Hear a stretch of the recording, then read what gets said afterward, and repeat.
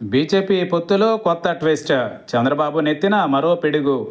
ఏపీలో రాజకీయాలు రసవత్రంగా మారుతున్నాయి. పోలింగ్ తేదీ ఖరారు కావడంతో అన్ని రాజకీయ పార్టీలు ఎన్నికల కురుక్షేత్రానికి రెడీ అవుతున్నాయి.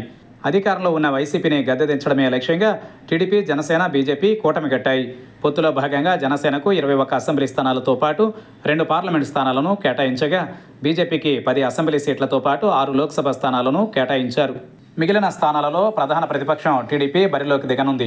అయితే బీజేపీకి కేటాయించిన స్థానాలపై ఆ పార్టీ నాయకులు అసంతృప్తి వ్యక్తం చేస్తున్నట్లు సమాచారం అందుతోంది. ఆరు లోక్సభ స్థానాల గురించి పెద్దగా సమస్య రాకపోయినప్పటికీ అసెంబ్లీ స్థానాల్లోనే బీజేపీ కేడర్ నుంచి తీవ్ర వ్యతిరేకత వ్యక్తమవుతోంది. పాడేరు అనపర్తి ఆదోని వంటి నియోజకవర్గాలను బీజేపీకి కేటాయించడంపై పార్టీ నాయకుల నుంచి తీవ్ర అభ్యంతరాలు వ్యక్తమవుతున్నాయి. ఆ నియోజకవర్గాలలో టీడీపీ గెలవలేదు కాబట్టే వాటిని తమకు కేటాయించారని బీజేపీ సీనియర్ నేతలు ఆరోపిస్తున్నారు. అందుకే కొన్ని సీట్ల విషయంలో చేర్పులు మార్పులు చేయాలని నేతలు పట్టుబడుతున్నట్లు తెలుస్తోంది. పైగా అక్కడ పార్టీకి సరైన కేడర్ లేదని బీజేపీ నాయకులు చెబుతున్నారు.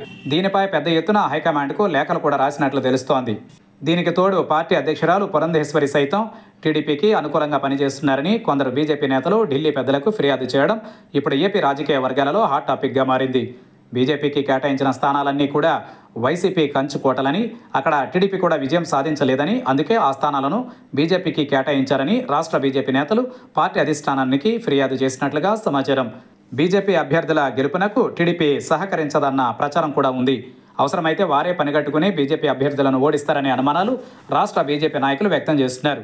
దీనిపై కూడా బీజేపీ హైకమాండ్కు ఫిర్యాదులు వెళ్ళినట్లు తెలుస్తోంది. వీటన్నింటిపై చర్చించేందుకే పార్టీ పెద్దలు పురంధేశ్వరిని ఢిల్లీకి పిలిపించారని సమాచారం. ఒకటి రెండు రోజుల్లో బీజేపీ సీట్ల విషయంలో ఒక స్పష్టత వచ్చే అవకాశం కనిపిస్తోంది.